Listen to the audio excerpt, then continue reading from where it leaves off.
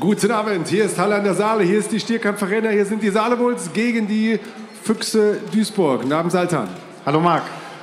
Marius ist wieder fit, das ist gut. Ähm, du auch wieder? Ja, ich.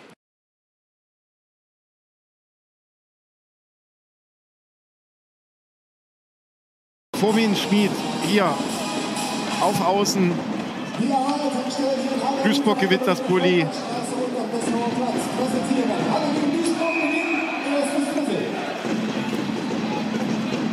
Und dann gibt es das erste Icing.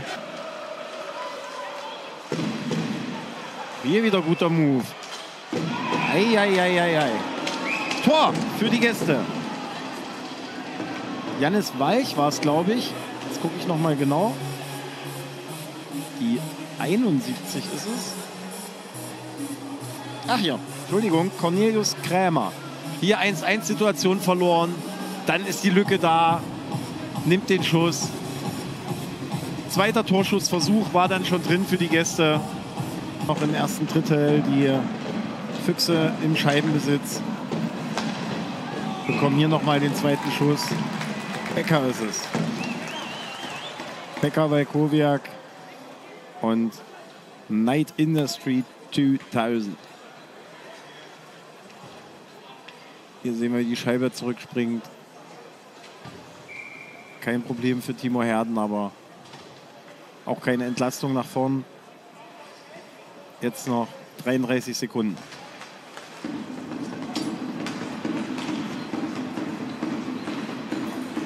Gleich für euch das äh, Drittelpausen-Interview. Heute mit Timo Gams von den Saale Bulls. Dann gibt es noch eine ganz kleine kurze Auswertung zum ersten Drittel und schauen wir erstmal, was noch geht. Vier Sekunden, fünf Sekunden. Scheibe ist draußen.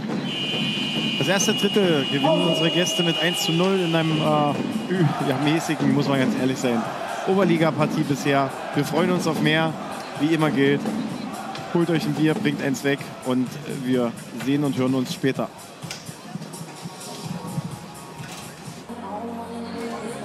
Timo Gams ist bei uns nach dem ersten Drittel. Es sieht noch ein bisschen verkrampft aus, aber ihr habt ein gutes Gefühl, oder? Ja, natürlich haben wir ein gutes Gefühl. Ich meine, natürlich haben wir auch Druck, wir müssen die Spiele gewinnen. Aber ich, hab, äh, ich bin guter Dinge, dass wir das heute reißen und das eine Tor, ich meine, wir können auch Tore schießen. Absolut. Es gibt Lücken bei Duisburg. Habt ihr schon welche gefunden? Ja, ich meine, wenn wir unser Spiel spielen, unser Speed nutzen, einfach spielen, keine Fehler an den blauen Linien machen, dann glaube ich, haben wir die gut im Griff. Timo, danke. Gute Pause. Danke.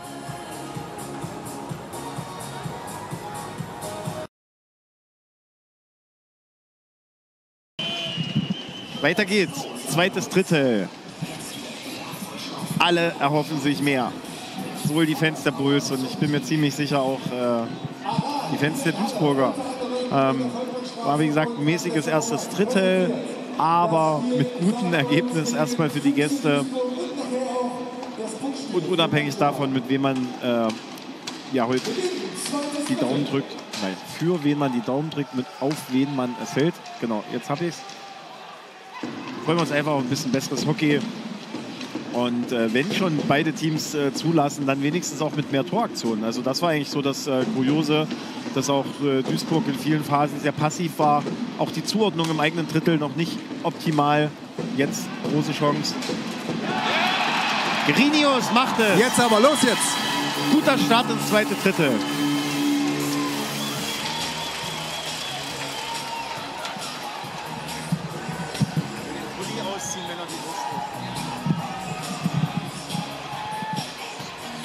Ja, dann muss eben eine Einzelaktion her. Ähnliche Geschichte wie beim äh, Tor der Gäste. Ich habe fast noch gedacht, Mensch, wo will er hin? Jetzt läuft er noch in den Spieler rein. Also hier ein ganz interessanter Move. War eigentlich dabei, noch mal zweimal zu machen. Hat dann alles richtig gemacht. Das, äh, Marc, das haben wir immer schon gefragt. Wer sind die Spieler, die jetzt Verantwortung übernehmen? Ähm, die zwei Spieler würde ich definitiv nehmen. Sergi Stas als Kapitän sowieso. Zack, gibt es das nächste Tor. Verdammt. Aber das ist eben diese Saisonphase. War auch wieder nicht gut verteidigt und äh, ich glaube aber auch äh, Kategorie nicht unhaltbar. Erster Impuls, wir gucken uns das Replay an. Ich glaube, er Ah, murmelt so vorbei. überspielt. Ja, hier stimmt der Abstand wieder nicht. Clever gemacht. Ähm, guter Move. Äh, hat der äh, Timo Herten gar nicht gerechnet, dass da jetzt schon der Schuss kommt. Kurze Ecke macht er sonst immer so vorbildlich zu. Hier hat er spekuliert, dachte der Spieler geht noch weiter, weil er ihn auf der Rückhand hat, dass er die Schussposition. Hier gibt es auch den Check gegen Walters. Ist bei uns angekommen im Kampfgericht. Ich weiß nicht, ob man es über mein Mikrofon gehört hat. Zu lang die Scheibe. Jetzt hat man es gerade bei Suchomir. So. Schönes Tor. Schönes Tor. Perlini. Endlich, endlich. Abgestaubt, nachgedacht, abgestaubt. Perlini.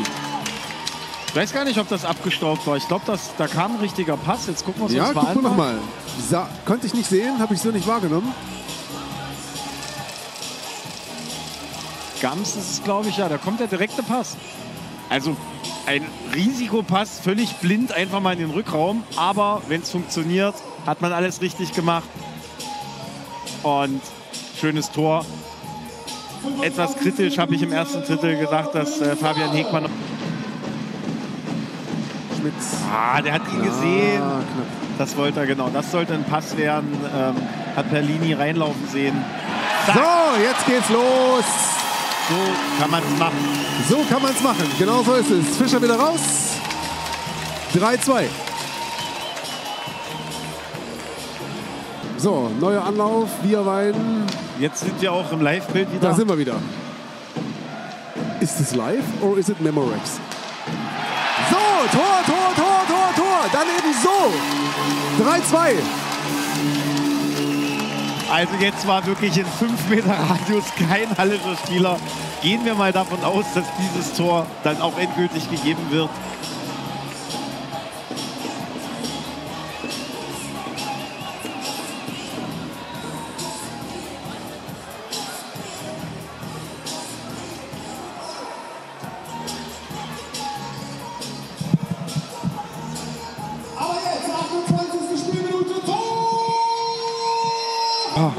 Mensch, wäre auch mal wieder schön. Ähm, Oberliga ist schon sehr fair geworden.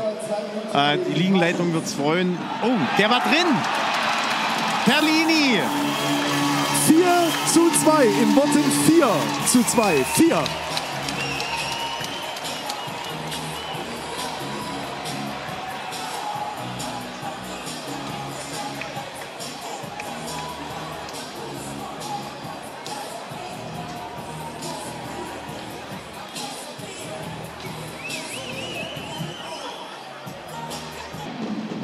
Gibt es einen dritten Versuch für Becker, die Scheibe? Nein, das ist kein Foul. Komm, aufstehen. Weiterspielen, Hockey spielen. Tor, Tor, Schmid. Tor, Schmitz. Fischer wieder auf dem Eis und in der Sekunde fällt das 5 zu 2.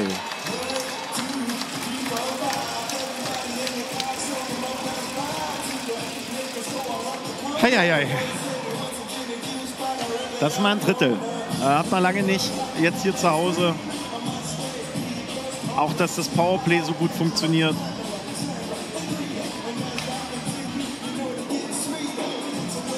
Wenn's Gut. Ja, Linus Schwarte wieder wirklich, als wäre das ganze Spiel drin.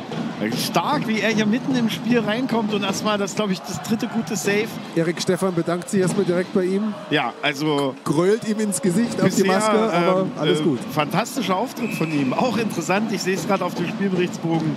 Fabian Hegmann, Linus Schwarte. Äh, Fabian Hegmann, 2.1.2001, äh, 1.11.2001, äh, Linus Schwarte.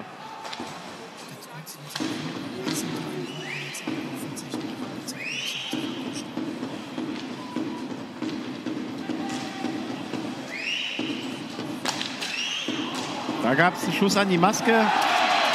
Kein Wirkungstreffer. Schiedsrichter sagt weiterspielen. Und da gibt es auch für Linus Schwarte das erste Gegentor. Ich habe den Maskentreffer hier gesehen. Ich verstehe, dass er sich beschwert, aber ich glaube, der Schiedsrichter sagt das Gleiche. Sagt, komm, das war unten dran, es war kein Wirkungstreffer.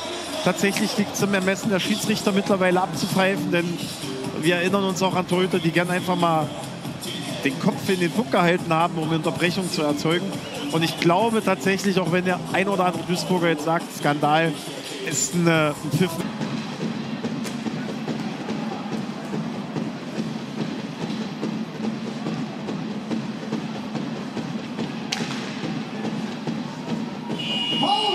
Dritte Pause. The Great Reset. Nein, keine Verschwörungstheorien, in dem Fall nur einmal dieses Systeme hoch und runter fahren. Genießt die Pause, wie immer gilt. Holt euch ein Bier, bringt eins weg. Bis später. Die Saale Bulls aus Halle an der Saale gegen die Füchse aus Duisburg. Keine Strafen. Aktuell guter Stream ohne Scoreboard. Aktuell, da ist es. Wir haben ein Scoreboard. Und Duisburg hat natürlich jetzt äh, eine Mammutaufgabe. Keine Frage.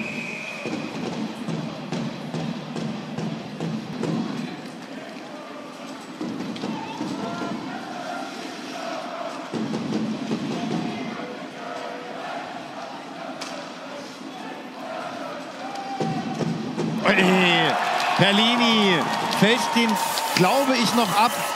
Äh, unhaltbar sagt man ja so gerne für Linus Schwarte. Auf jeden Fall maximaler Schwierigkeitsgrad, so eng vom Tor noch abgefälscht. Und genau sowas.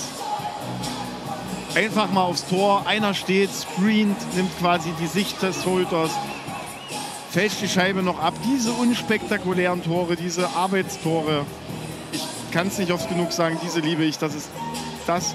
Köhler schwer jetzt hier, ohne Geschwindigkeit gegen drei Leute. Gut. Oh, 50 Prozent an Köhler.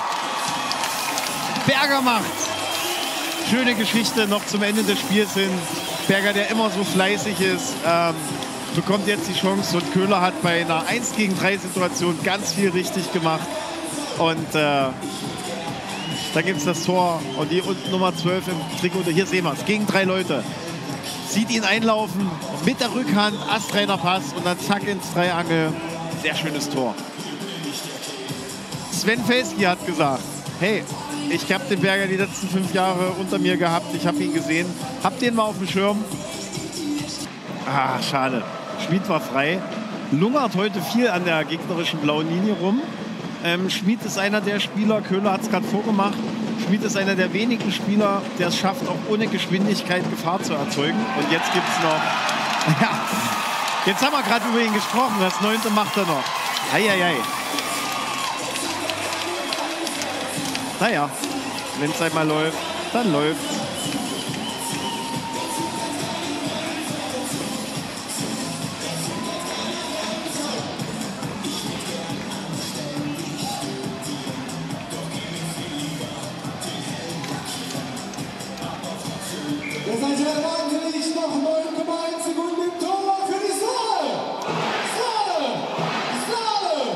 Er jetzt, äh, haben wir jetzt in den Replays gesehen, deshalb habe ich kurz nichts gesagt, die Zuordnung überhaupt nicht gestimmt. Zuspiel von der 72. Jetzt das Spiel vorbei.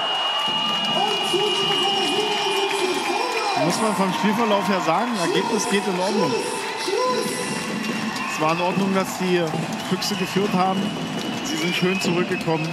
Aber dann war es in Unterzahl auch nicht gut verteidigt. Und dann haben sie Bulls so ein bisschen ins Rollen kommen lassen. Die Bulls haben mal wieder uns kurz hinter den Vorhang des Leistungsvermögens schauen lassen und gezeigt, was sie